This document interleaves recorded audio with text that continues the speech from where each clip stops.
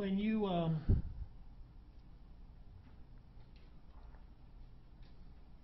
how many days was it from the time Tara died until uh, these services were held for her? Um, I don't know, about three or four days, I guess. Because we had a rosary one night and then uh, the funeral the next day. So I don't know uh, what the dates were. All right. Um,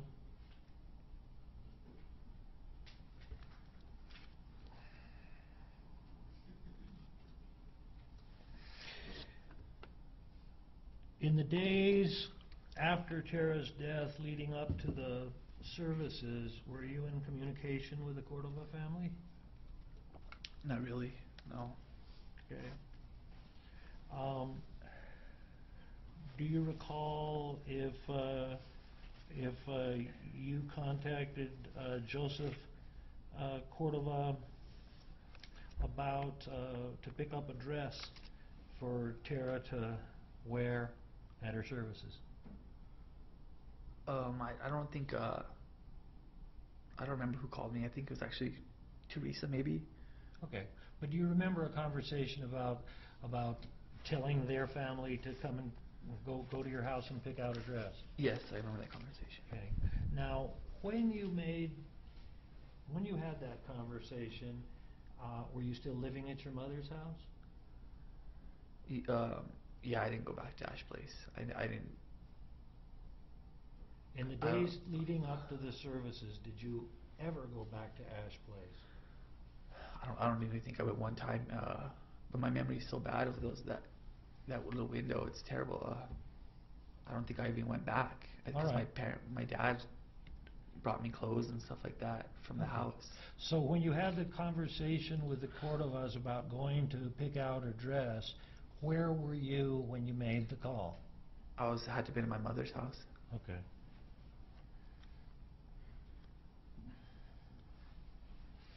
Now, before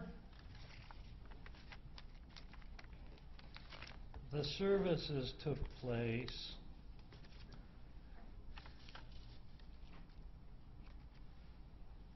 but after Tara had died, did you get information that she might have been having an affair with someone? I did. Did you have any such idea prior to the time Tara died? No, not at all. Okay.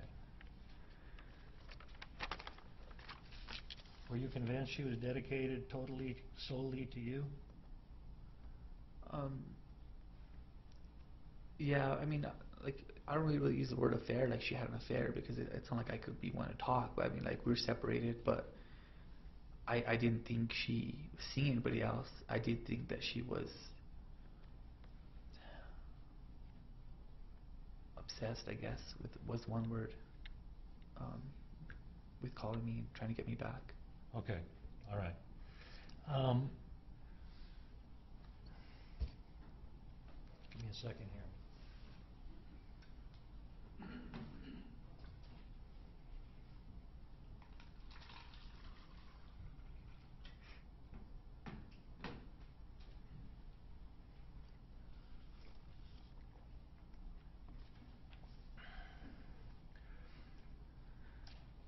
When you got this information that Tara might be having a relationship with another man, um, did that information include who the other man was? Yes. Did you know who it was yet before uh, the services? Yes. Uh, well, I had a, my my mother told me Okay. uh, she that she heard a rumor going around. Los Lunas is a small town. She said that somebody called her and told her that she, Yeah, don't tell us what anybody else said. my, my mom told me. Okay. So, the night of the, uh, was it the rosary or one of those nights, did you uh, um, ask or, tr- or approach one of her friends um, to see if you could find out a little bit more information about the affair? I did.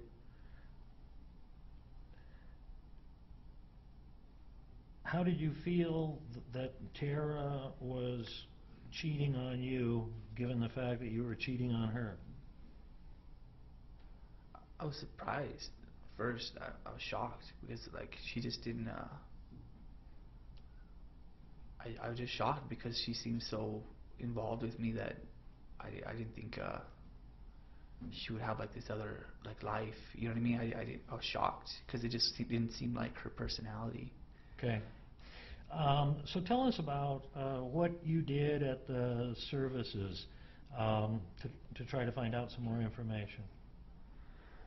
Uh, I, I talked to her friend uh, Andrea, and uh, Would that be Andrea Lucero? Andrea Lucero, and um, I was asking her questions. She's like, "Well, I don't want to talk about it here. I'll just call me or something like that. We can. We'll talk later." Okay. And did you leave it alone? I mean, that night at the services? you- Yeah, I did. Okay. All right.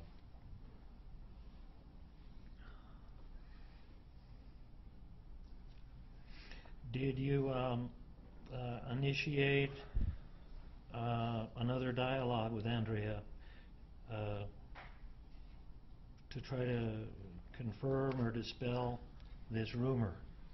Yeah, I called Andrea uh, later night, probably like ten or eleven, I think. I don't know. Okay, Or I texted her and then I think I called her. okay. Do you remember what you um, asked her? Objection, Your Honor. The conversation itself is hearsay. He's asking about when he learned and what he was trying to learn. The question, the question calls for a yes or no answer. Just answer yes or no. Yes. Okay.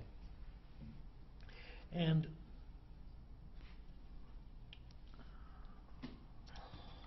without telling us what anybody else said, um, did you, uh, were you told the name of the person that Tara was having an affair with? Yes. All right. And uh, was that person Nick Wheeler? Yes. And uh, did you know Nick Wheeler at all? Um, I knew him.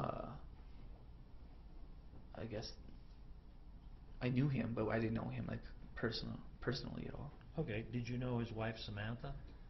Um, I knew her little.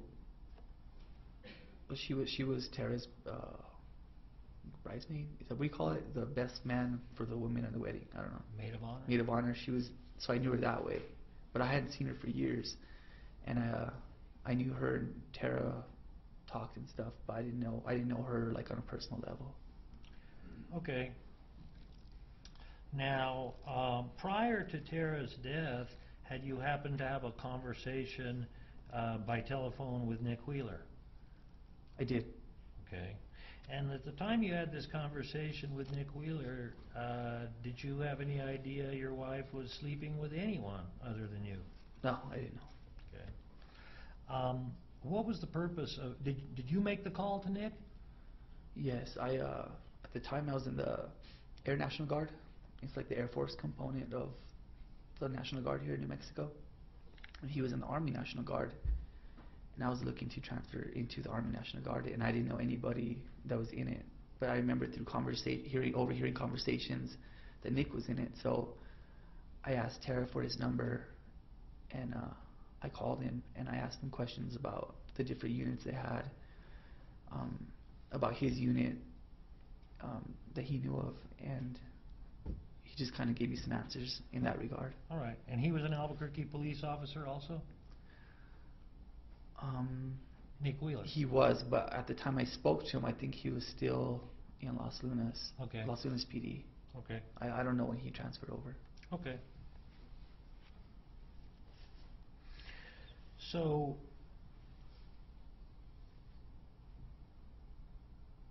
we've heard testimony that when Andrea gave you this information about uh, Tara and her lover, that you um, said something to the effect of, "Thank you, you saved my ass," or "Thank you, you saved my life."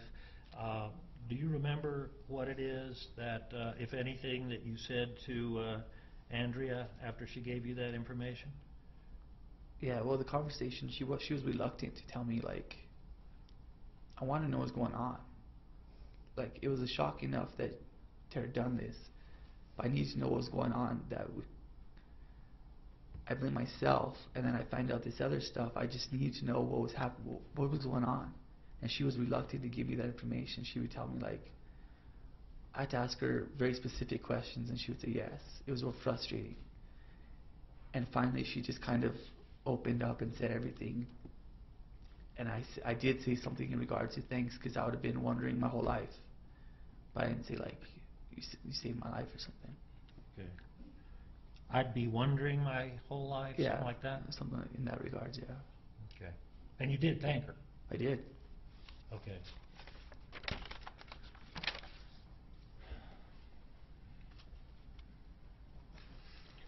Your Honor, is the court going to want to continue on much longer? This would be a good uh, breaking point for me.